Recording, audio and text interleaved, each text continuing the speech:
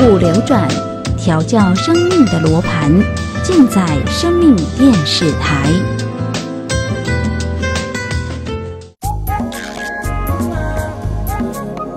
接下来，请收看《中华德育故事》。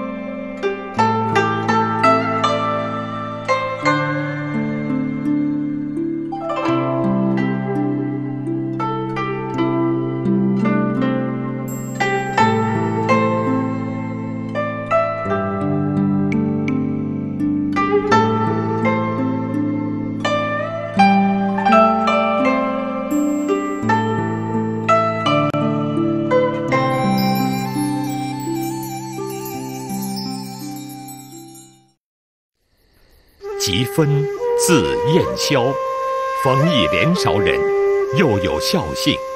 父为奸吏所诬，罪当论死。吉芬抓登文谷，其代父从死。后人举之孝廉。吉芬以因父求名为耻，终不得举。少年便为知耻之士。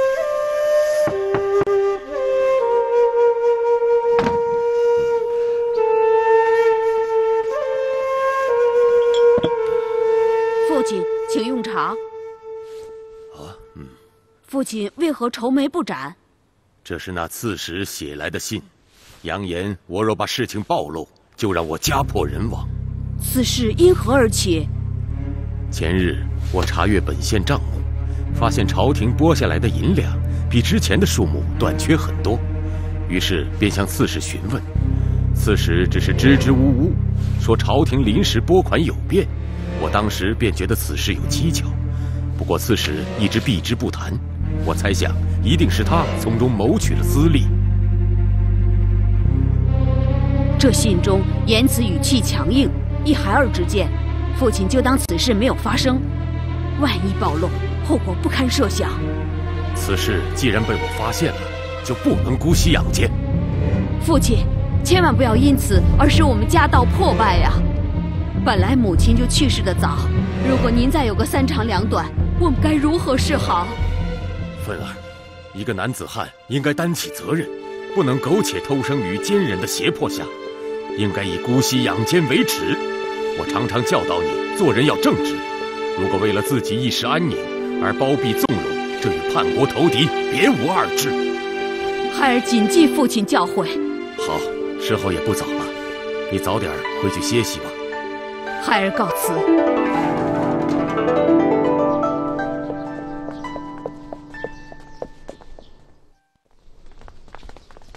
谁是这原乡县令？原乡县令正是我的父亲，请问你们找他有什么事吗？他现在在哪里？在书房中读书。给我进去搜！你们这是要干什么？凭什么抓我父亲？小孩，快让开！不要妨碍我们执行公务，小心我连你一起抓去！不行，你们没有理由，不能抓人。你们这是在干什么？你就是原乡县令，正是在下。我们是奉命前来逮捕你的。等一下，我到底所犯何事要被抓捕？我们只负责抓捕，别的不管。走。呃，父亲。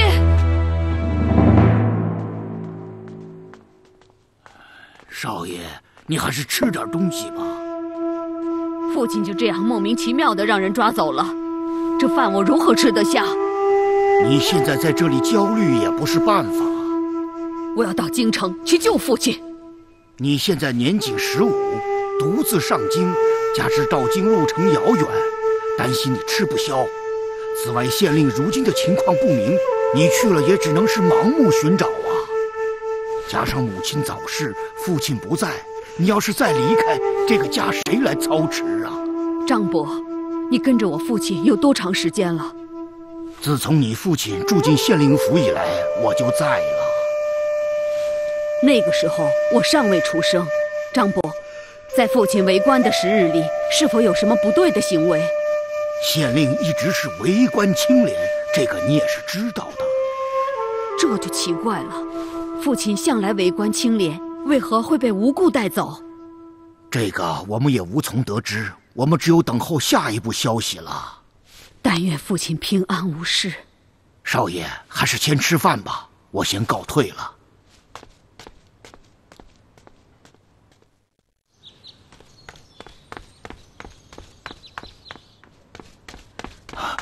张伯为何如此慌张？我听到有消息说是吉大人犯的是谋反之罪，如果罪名属实，可能要秋后处斩。张伯，你是从哪里知道的？消息可靠吗？这人命关天的事，说是临近县令刚从京城传来的消息，我看很可信。不行，父亲现在凶多吉少，我必须马上去救他。少爷，你这样毫无方向的去，京城那么大。找到管事的人都要好长时间，劝你还是静下来找找原因，这样到京城办事也会有个方向啊。嗯。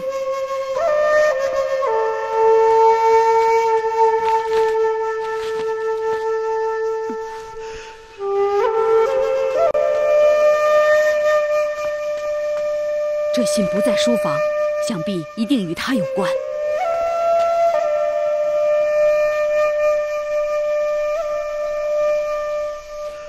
张伯，家里就交给您了，麻烦您帮我照顾好弟弟妹妹。你放心的去吧，到了京城给我们写个信。一定，你们在家一定要听张伯的话，不要到处跑。哦，知道了，知道了。哥哥，您就放心的去吧，一定要把父亲救回来啊。嗯，那我就先走了。哥哥再见，哥哥再见，哥哥早点回来。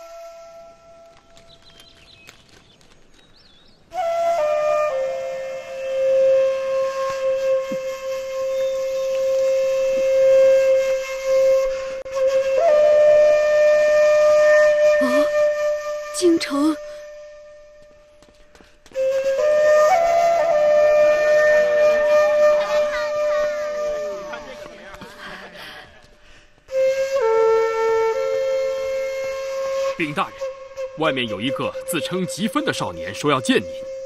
吉芬可是原乡的吉芬？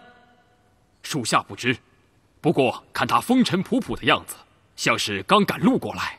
没有听说过什么吉芬，不见。我们已经让他走了，但是他说人命关天，一定要见大人。一个小孩赶走就是了，想必很有可能是原乡县令的儿子。这样做太明显。还是让他进来，这样也可以顺水推舟，打消他的疑虑，省得日后麻烦。那就叫他进来吧。是。嗯。拜见御史大人。说吧，你见我有什么人命关天的要事？大人，我是原乡吉县令的儿子，父亲现今毫无缘故的被抓到京城候审。你父亲被捕，与我何干？父亲前日发现刺史有徇私舞弊之嫌，没有理会刺史的书信威胁，向你写信告发。我怀疑父亲被捕和此事有关系，所以特此前来，希望得到您的帮助。这个我恐怕帮不了你。我父亲是给您写的信，如果您可以出面为父亲作证，在下感激不尽。我没有收到什么举报信。不可能，父亲就在半个月前给您写的举报信。你这个小孩怎么回事啊？我不是告诉你我没有收到什么举报信吗？你父亲被逮捕一定是有原因的，你还是先回去等着审查结果吧。这不可能！你这个小孩怎么这般执拗？我父亲向来廉洁自律，不可能犯罪。说这些都没用，是否有罪，朝廷自有定夺。你要是再不离开，我就叫守卫轰你出去了。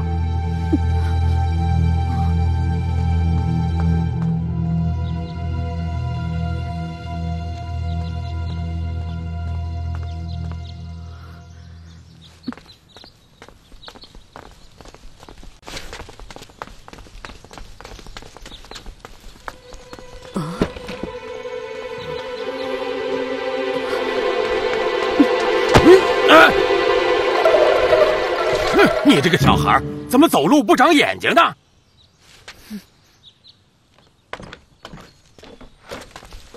一个小县令就想在御史面前把我给告倒了，真是笑话。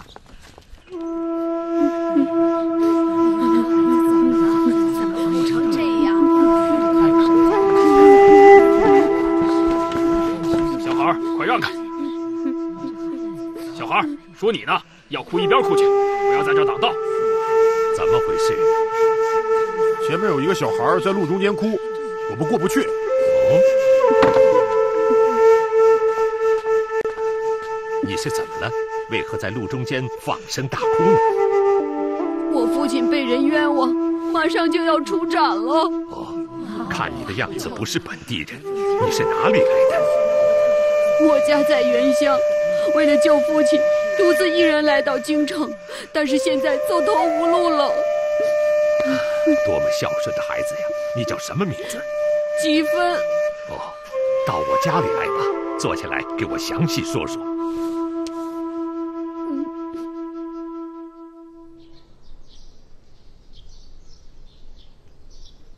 先吃点东西吧，你这一路一定累坏了。没有父亲的消息，吃什么东西都没有胃口，还求您先去帮我打探一下父亲的消息吧，小民感激不尽。啊，果然是至孝之子，我先替你去打听一下，你在这里等我的消息。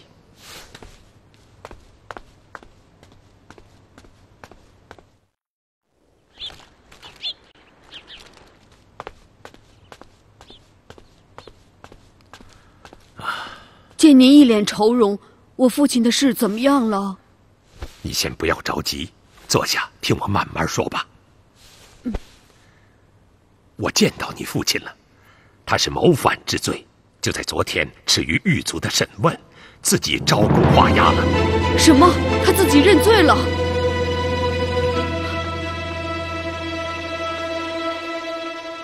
这不可能！我父亲为官期间一直是廉洁自律、忠君爱国，怎么可能犯了谋反之罪呢？的确，我在和他交谈时，确实觉得他不是那样的人，言语甚是无奈。父亲为官以来，从来都是为了百姓谋福利，怎么会谋反呢？你父亲在入狱之前，有没有发生什么奇怪的事？父亲发现了刺史有贪污之举，刺史曾给他写过信。威胁他此事不可暴露，但是父亲刚正不阿，向御史写信举报。可是御史矢口否认自己收到过举报信。后来我在门口看到刺史拿着父亲写的信从御史家出来了。看来此事并不简单呐。那我现在应该怎么办呢？孩子，官场险恶呀，对于此事我也没有办法。我不能眼睁睁地看着父亲被人冤枉啊！你父亲已经认罪，案子已结，看来你只有一个办法了。还请先生明示。啊，快起来，我只能帮你想办法，成不成功就要看你的了。只要能救父亲，晚辈定当尽力去做。前面过去两条街就是廷尉府了，门口有一面登闻鼓。你可以敲响登闻鼓，将实情告知蔡法度。如果你父亲是被冤枉的，他会帮你的。多谢先生指点，先生救命之恩，日后必定报答。你记住，今日之事不可让外人知道。官场险恶，稍有不慎，你我便都要落个家破人亡的下场。晚辈记下了。等一会儿，我让下人送来纸笔，你写好材料，便去找他吧。有劳大人了。希望你能成功的解救你的父亲。多谢先生相助。去吧。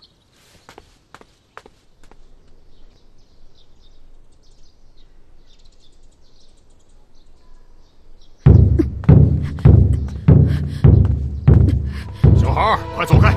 不要在这里捣乱。跟你说了，快走开！我要申冤，为何不能敲鼓？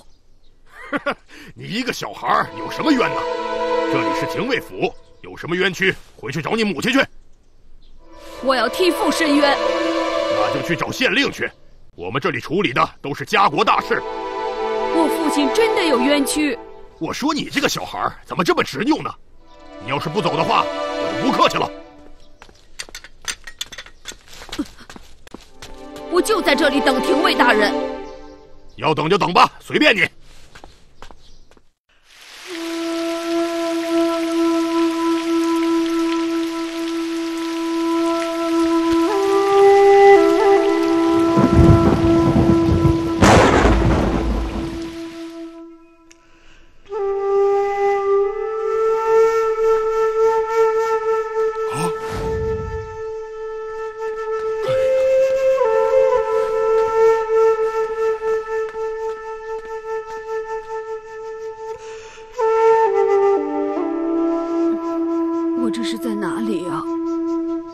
这是廷尉府，你昨天淋了一夜的雨，早上晕倒了，是门口的守卫把你救进来的。我的东西呢？是用荷叶包的吗？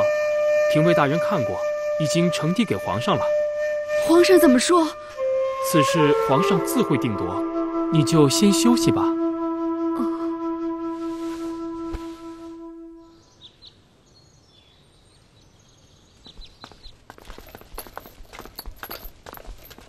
你们先出去。你在材料里面说你愿意代父一死，是，只求代父一死。你看看这些东西，你真的不怕死吗？怕，但我不能眼睁睁看着父亲蒙冤受死。你只是个小孩子，不懂什么生和死。如果有人教你这么做，现在说实话，我不会让你死的。养有贵乳之恩。亚有反哺之意，如今我代父受死，又哪里需要人教呢？来人呐，给他换一副小的枷锁。不用了。看你身躯如此瘦小，却带着一副厚重的枷锁，好心给你换轻的，为何还不愿意？我是个死刑犯，怎么能减轻镣铐呢？哎，告诉我，谁让你这么做的？父子俩都不用死。岂不更好？我只想用自己的死延缓父亲的性命，绝非他人授意，还望大人明察。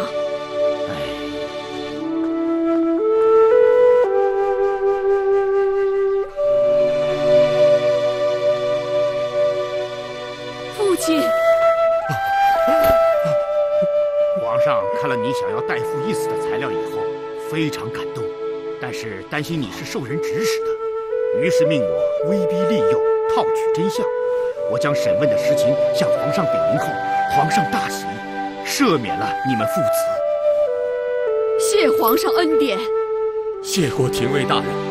要是没有您，我们父子怕是再也不能见面了。谢谢廷尉大人。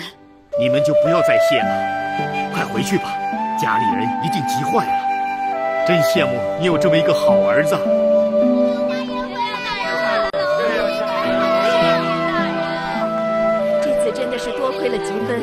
千里迢迢救回父亲，是啊是啊，真是一个孝顺的孩子，而且还这么有本事。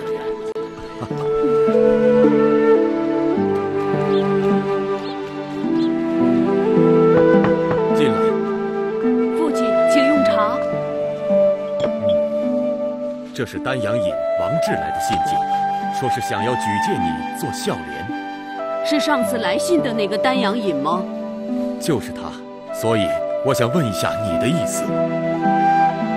劳烦父亲转告，如今我年纪尚小，学识浅薄，心智尚不成熟，不适合举为孝廉。你想婉言拒绝？孩儿正是这个意思。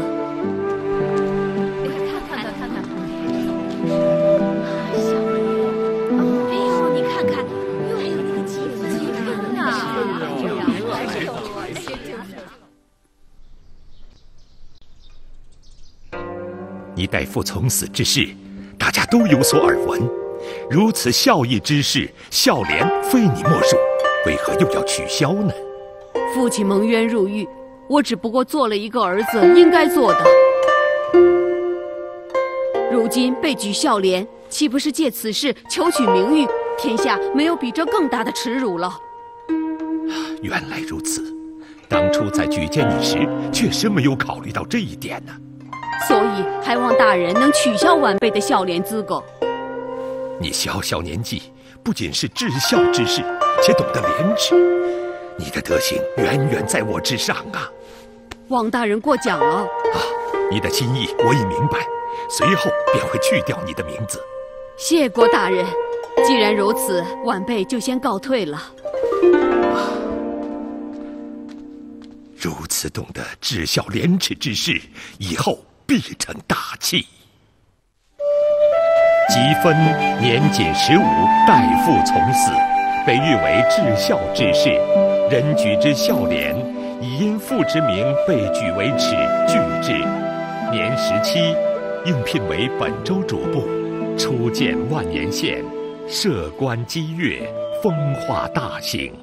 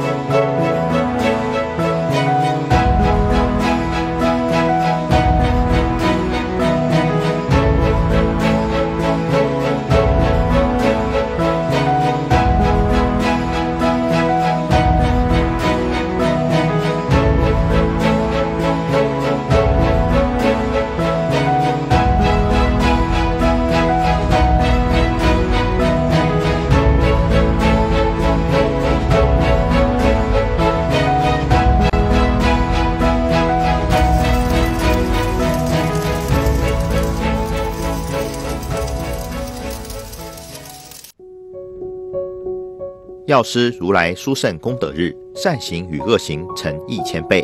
生命电视云林观音讲堂启建梁皇宝忏孝亲报恩超度法会，恭请广护法师主法。日期自九月十四日星期二起至九月十九日星期日止，上午九点开始。地点云林观音讲堂，云林县虎尾镇新南里竹围六十之三号，李斯特加油站后面。电话零五六三三一五六五零五六三三一五六五，敬请与惠菩萨做好防护措施，并保持社交距离。每日上午八点半，斗南火车站前备有接驳车。尊圣第十七世大宝法王噶玛巴乌金清列多杰尊者，二零二一年六月五日起，每周六晚上七点于脸书首播《菩提道灯论》中文教学。生命电视台将于每星期六晚上七点同步直播，每隔周星期五晚上九点重播。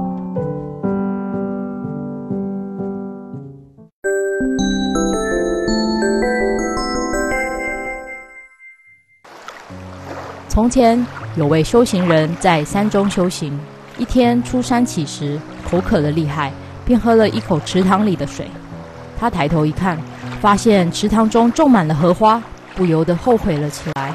啊，这池塘是有人照料的，我没有向主人说一声就喝了池水，等于是偷喝，犯了偷盗罪，来世会下地狱，投身为牲畜。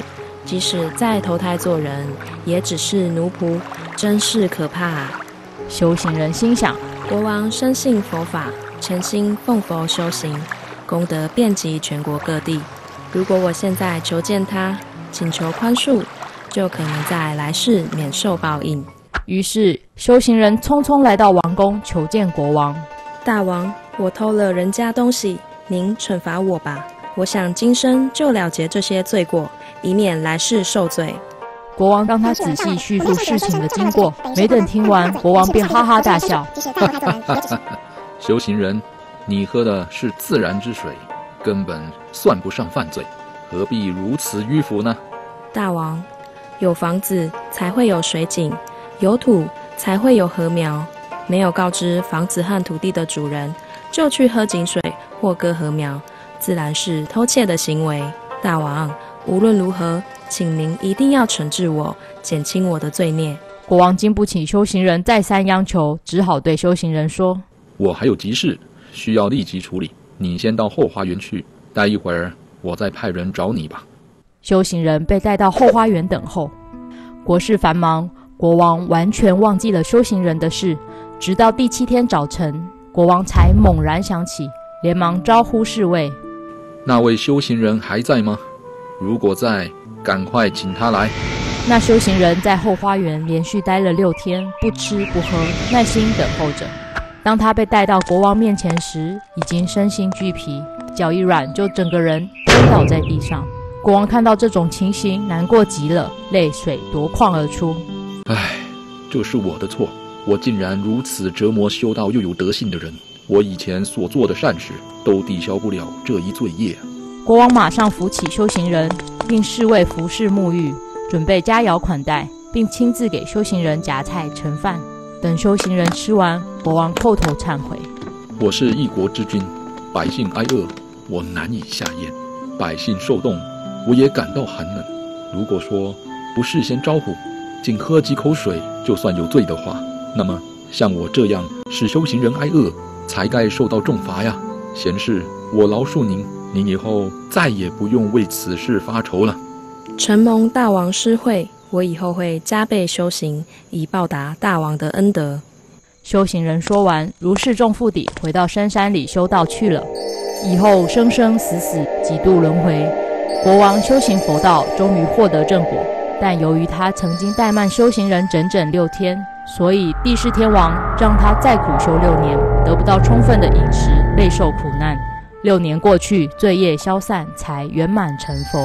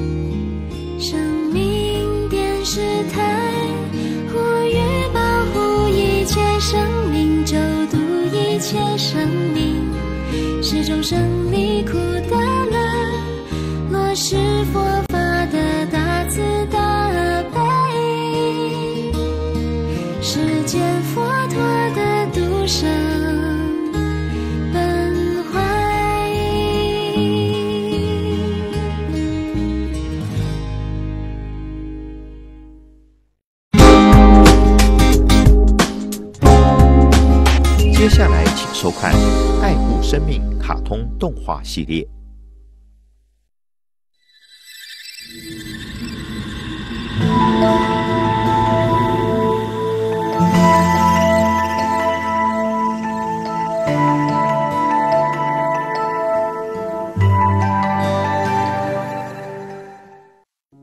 太阳鸟。在热带雨林里生活着一种小鸟它的叫声它的羽毛它的秉性，都让人想起太阳，因此人们称呼它为太阳鸟。哇塞，这是什么鸟啊？它的声音可真美妙好听呢。这是太阳鸟的叫声，它的样子比它的叫声更吸引人呐。很多人都一传十，十传百，想来目睹它本尊的风采呢。哇，真是太漂亮了！你们快看它的翅膀，好鲜艳呀！这就是阳光的颜色，难怪它叫太阳鸟呢。它不会是太阳光做成的吧？没错，这太阳鸟风姿翩翩，真是百闻不如一见。今天我能看到它，真是幸运啊！太阳鸟。你能不能飞低一点呢？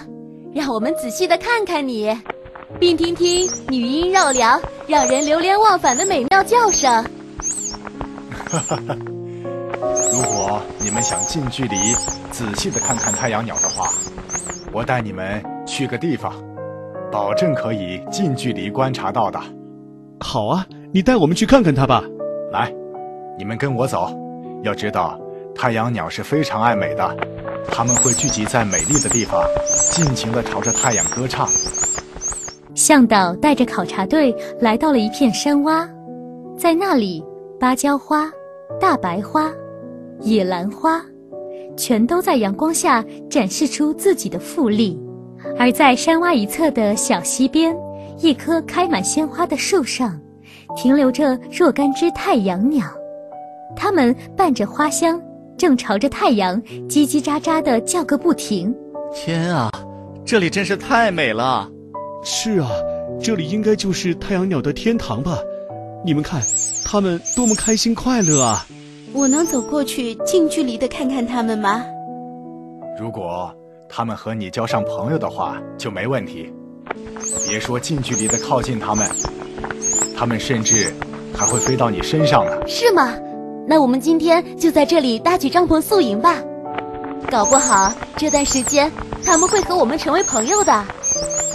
嗯，这主意不错，我们今天就在这里宿营吧。第二天早晨，考察队员们被美妙的鸟叫声吵醒了，掀开布帘一看，哎呀，一大群太阳鸟在这里飞来飞去，对着冉冉升起的太阳不停地叫着。好多的太阳鸟啊！森林里所有的太阳鸟是不是都飞到这里来了？它们应该是在这里集合起来，一同迎接日出吧。哎呀，你看，太阳鸟似乎对镜子很感兴趣啊！你瞧啊，太阳鸟竟然也会对着镜子梳妆打扮呢。当然了。它可是非常爱美的，尤其爱惜自己那身拥有阳光颜色的羽毛。看来这镜子比太阳还有吸引力啊！它们得改名叫做镜子鸟了。我想，它们一定是把这个能反射出光亮的镜子当成太阳了。好了，我们收拾一下，该继续出发了。考察队员们收拾起了帐篷后，继续走进雨林。小鼠将镜子挂在他的背包上，阳光透过树林照射在镜子上，镜子将阳光反射出去，这道反射的光亮吸引着几只太阳鸟一直跟着他们。你可真有办法呀！这几只太阳鸟简直成了你的小跟班了。什么小跟班？他们是我的朋友。哈哈，真没想到，这么快你就和他们变成朋友了。是啊。这些小家伙对人类一点防范心都没有，难道就不怕人类捕捉他们吗？这可是热带雨林深处，平时很少有人出现的。他们心中的敌人，只是那些肉食性鸟类，而不是我们人类。嗯。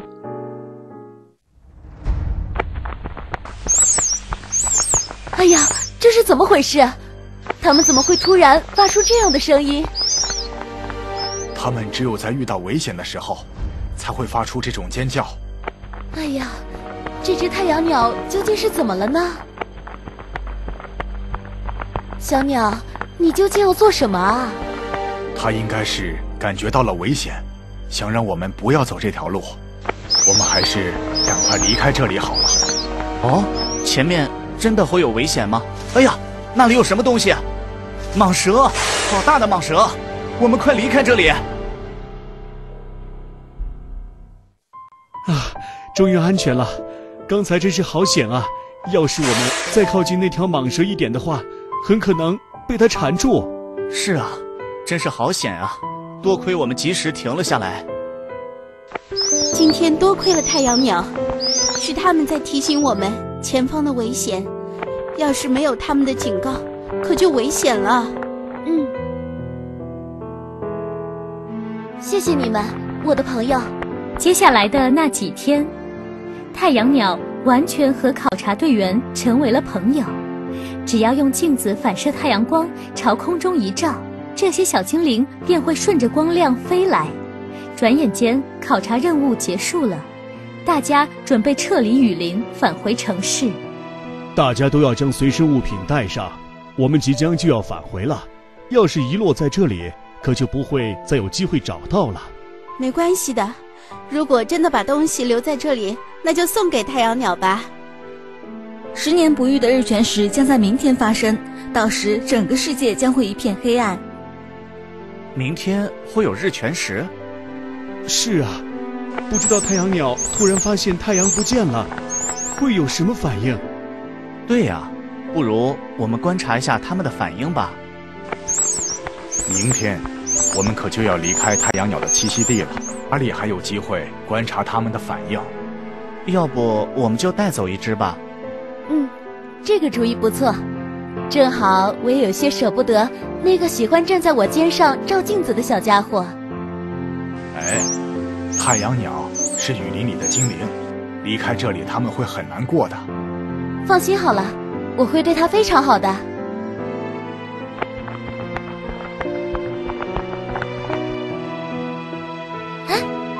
我这有个笼子，快把它放在里面。小鼠将太阳鸟放进了笼子里。此时，这只太阳鸟似乎觉察到了什么，它开始拍打着翅膀，想要从笼子里飞出去。可却发现自己完全被囚禁了起来，于是这只太阳鸟不停地发出一阵阵急促的叫声。其他太阳鸟听到叫声后，纷纷的惊慌飞走。你们看吧，它完全不适应笼子里的生活。没关系，它慢慢就会适应的。只要有镜子，它就会安静下来。这真是一只爱美的小鸟。好了。我们该出发了。第二天上午，日全食开始了，众人一起静静地围着鸟笼，观察太阳鸟反应。随着太阳一点点地被遮挡住，这只太阳鸟显得非常焦躁。它扭转脖颈，昂起脑袋，四处寻觅着太阳，可依旧没有看到。于是它脖子扭动得更快了。你们看，它找不到太阳，显得非常的焦躁。是啊。这小家伙应该是第一次遇到这种情况。太阳马上就要完全被遮住了，太阳鸟也越来越惊慌了。它应该以为是谁把太阳给偷走了吧？当太阳完全被遮住时，整个世界一片黑暗。太阳鸟烦躁不安地举起翅膀，冲击着鸟笼。它想飞出鸟笼寻找太阳。它现在的内心应该是崩溃的，可怜的家伙。它终于安静了下来，看来是放弃了。他是不会那么轻易放弃的。哎呀，他这样下去是会活活撞死的，我们得帮帮他。我们怎么帮他？我们又不能把太阳给变出来。太阳鸟，不要撞了，太阳并没有消失，你只要耐心的等一会儿，它就会再一次出现的。太阳鸟，太阳鸟，你千万别出事啊！太阳鸟，你走吧，你去寻找太阳吧。那只太阳鸟仰起了头，然后一下子朝空中飞去。它一边飞，一边急切地叫着，四下寻找着太阳。你就这样将它放走了？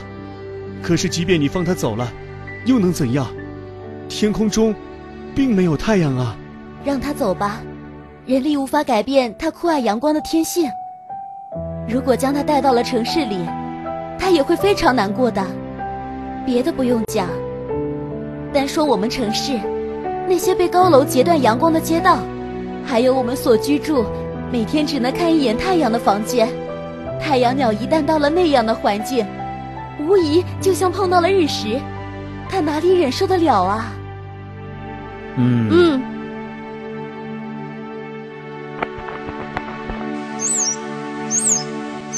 太阳鸟啊，太阳鸟，我们不能带走你，因为你是太阳的子女，雨林才是你真正的家。凶狠复仇的蛇。家住都市的王先生，最近晚上经常做噩梦，而且连续几天做的噩梦都是一模一样。老公，怎么了？今天你看起来非常疲倦，是不是昨晚又做噩梦了？是啊，真是太怪了，一连几天我都梦到我和父亲被一条非常粗的蛇不停地追赶着，这个梦就像真的一样，真不知道是什么寓意呢。就是啊，你做了这么多天这种梦了，这样下去精神哪受得了啊？对啊，这几天我感觉自己都快神经衰弱了。一点精神都没有啊！对了，我认识一位学佛的师姐，不如我们让她来解释一下你的梦吧。不用了，学佛的人怎么能治好我的睡眠呀？我看还是去看看医生比较实际的。那好吧，我们就去医院看看。如果真的不行，再请师姐来帮忙。然而，王先生去了很多医院，都没有查出病因。在没有办法之下，他只好让妻子请来那位学佛的师姐。师姐，你说这是什么原因啊？我们去医院检查过了，但是却一直没结果。唉，我想你先生这是得的因果病啊！啊，因果病那是什么病啊？所谓因果病，就是受前世及今世所造罪业而得到的报应啊！这怎么可能啊？你是说我这是遭到了因果报应？这话可真是荒唐啊！怎么？难道你现在还不相信因果报应吗？是啊，你说的的确有些离谱，我怎么会相信呢？王先生，你想一下，你过去是不是曾经伤害过蛇呢？哇，伤害过蛇？我在这个都市里住了快十几年了，哪里见过什么蛇啊？而且蛇又怎么会生活在满是钢筋水泥的城市里呢？那十几年前呢？你小时候不是生活在乡下吗？在乡下见到蛇不是很正常吗？哼，就算十几年前伤害过蛇，那也不至于直到现在才遭到果报吧？你不知道啊，蛇的复仇可是非常凶狠的，而且打蛇杀龟的果报更是厉害。老公。你仔细想一下，从小到大，你有没有伤害过蛇呢？啊，不会是那件事吧？啊，是我弟弟打来的电话。哥哥，你快回来吧，爸爸在医院里抢救呢。弟弟，你慢慢说，到底是发生什么事情的？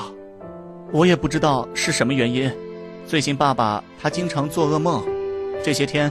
他总是梦到自己被一条大蛇追赶，精神状态非常不好。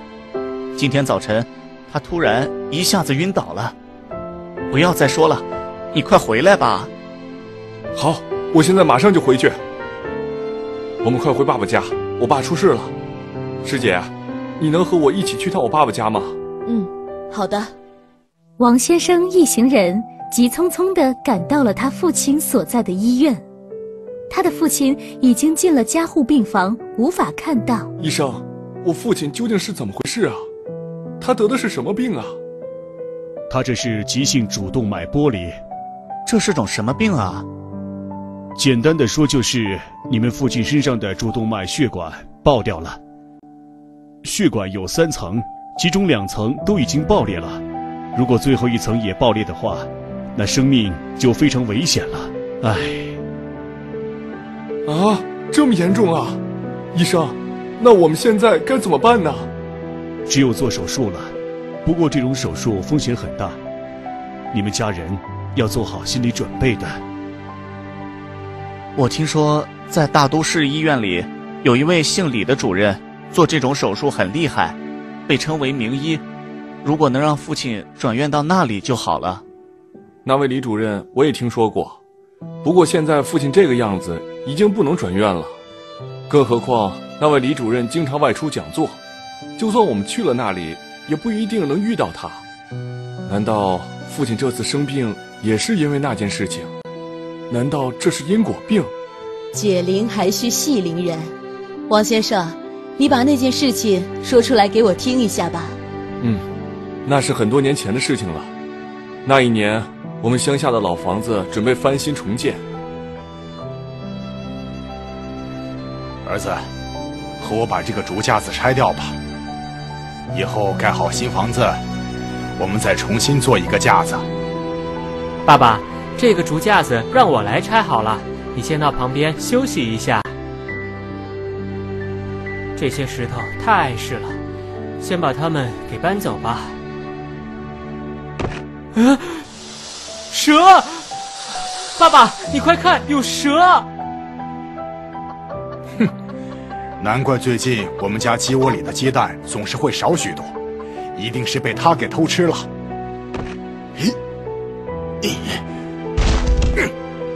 我父亲将那条蛇杀了之后，便拎回家煮了一锅汤，和我一起喝了。师姐，难道我父亲的病是因为这件事情？嗯，我想是的。可是这件事情已经过十几年了，果报怎么会直到现在才会降临到我们身上呢？我说过的，蛇的复仇可是非常凶狠的，而且打蛇杀龟的果报更是厉害。有句话不是这样说的吗？善有善报，恶有恶报，不是不报，只是时候未到。哇，师姐，那现在我们该怎么办啊？杀生是极大的罪业，而放生则是极大的善举。我想你只有多多放生，才能弥补你和你父亲曾经犯下的罪业。嗯。王先生听了师姐的劝说后。当天便购买了一些鱼虾，来到河边进行放生，并虔诚地对自己和父亲过去所犯的错进行忏悔。没想到第二天，令人想不到的事情发生了。王先生，告诉你一个好消息，号称名医的李主任来到我们医院了。就是大都市医院的那位李主任？没错，就是他。李主任原本是来我们医院进行一次讲座的。他来到我们医院后，无意中听到了你父亲的病情，所以他就决定亲自操刀，为你父亲做手术。你们的运气可真好啊！真是太幸运了，哥。这么说，爸爸他一定会康复的。再好的医生也不敢保证能万无一失。虽然李主任主刀，但你们也不要太乐观了。嗯嗯，医生。我们知道的，哥，爸爸一定不会有事的，对不对啊？对，弟弟，我们赶快去市场买一些鱼虾，到河边进行放生吧。哥，爸爸的手术马上就要开始了，我们怎么能离开医院啊？正因为爸爸的手术马上就要开始了，所以我们才应该多积善德，来保佑他平安呐。你不用担心，医院这边就由你大嫂来照顾。有事情，她会随时打电话通知我们的。我们放生行善，真的能够保佑爸爸平安吗？绝对可以的。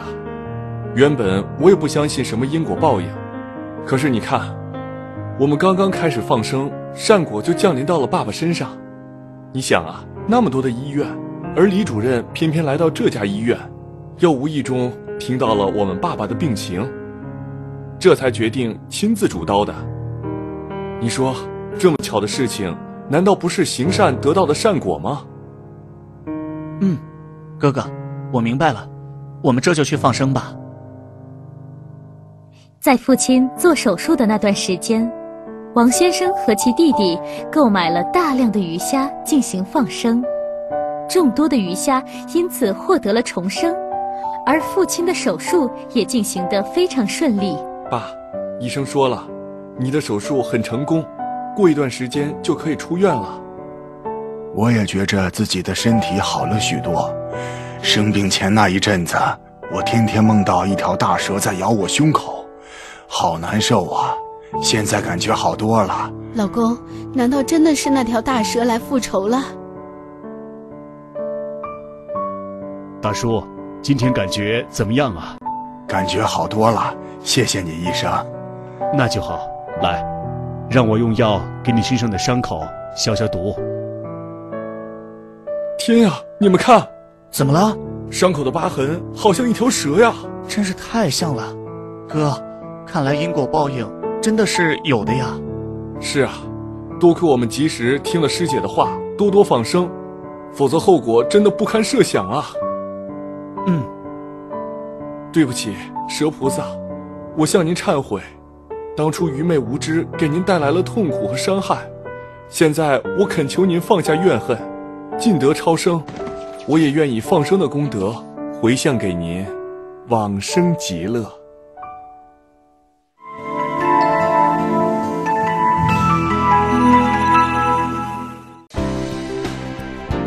淮海教育基金会感恩各界护法大德及善士们的爱心护持，温暖每一个受帮助的家庭及儿童。为了回馈社会，关怀弱势族群。海涛法师慈悲置业，自二零零八年承接淮海教育基金会以来，即积极的协助青海学生、弃养学童、中辍生就学、生活及品德教育，并且不间断的从事监狱教化、济贫发放、急难救助、老弱病苦、单亲家庭。新住民和原住民家庭之关怀，以及协助未婚妈妈及未婚子女的安置等，以圆满老安少怀，并发挥佛陀无缘大慈、同体大悲的精神，让社会上的弱势者也都能感受到人间处处充满慈爱与温馨。淮海教育基金会呼吁大家共同来关心社会上的弱势族群，累积福慧资粮。并祝福所有的家庭以及孩童都能在佛陀及正法的护佑下，身心健康、平安吉祥。护持淮海基金会，发扬佛陀大慈爱，援助弱势众族群，同离忧患常安乐。护持账号：五零零五九八二四五零零五九八二四，户名：淮海教育基金会。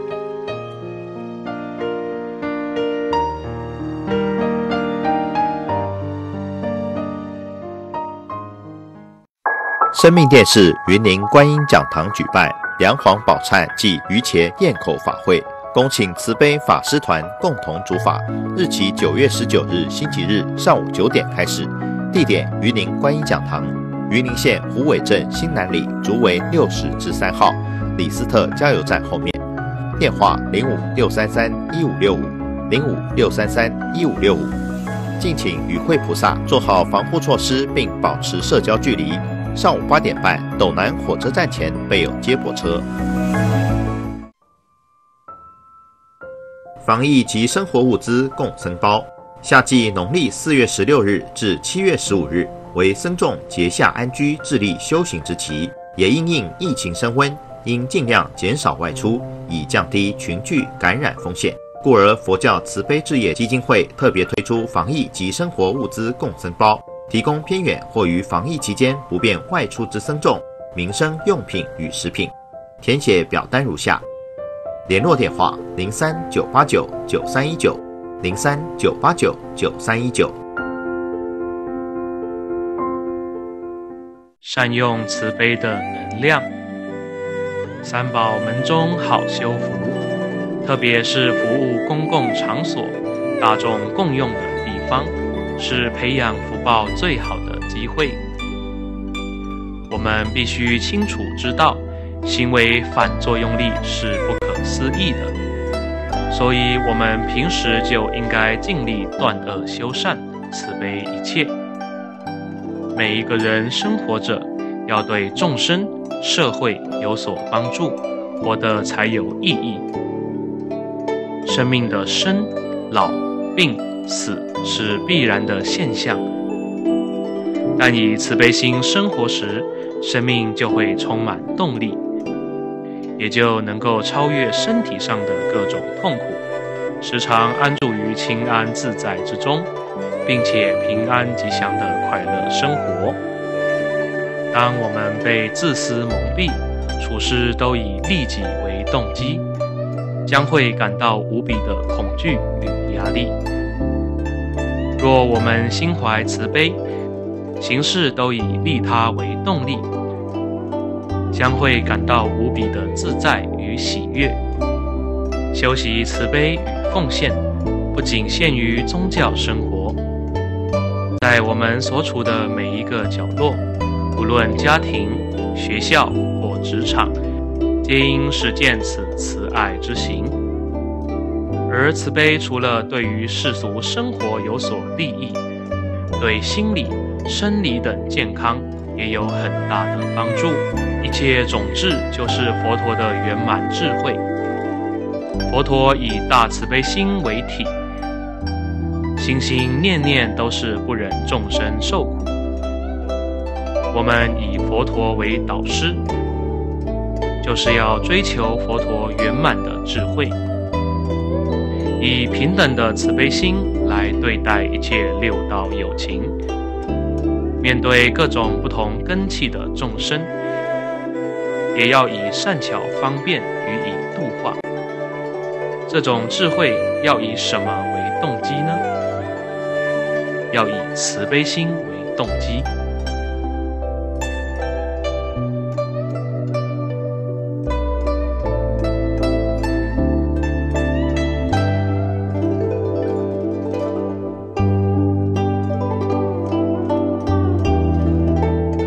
我为什么要研究佛经？啊，我为什么要念佛？因为我想要帮助众生都离苦成佛呀。所以呢，你就要保持在佛的心，不管发生什么事情，你还是以阿弥陀佛的心态来对待。啊，你不会随着事事情转哦，你骂我，我会骂你；啊，你瞪我，我瞪你，那你就变成轮回了。啊，我们要知道说，我们可以影响世界，所以我我要像一朵花。每个人看到美丽的花，没人会骂花的。我如果有一个菩萨心，我有一个菩萨的行为，每个人看到我就会有一个菩萨的感受，一样。就像哦，你擦香水，别人会闻到香的；啊，你眼睛瞪人家，人家感受到你生气一样。我们不要让别人感受到不好的，我们要让别人时时感受到好的。啊，所以要想说，释迦牟尼佛不管碰到什么事情。他都是用这个悲心智慧去面对、去处理、去爱护，那我也应该如此。所以这个社会要和谐的，该红灯就红灯，绿灯就绿灯，人家开慢的跟着开的慢，你要跟人家一样，啊，不要随便超车，不要随便按喇叭，就这个意思，和谐，这个就是修行。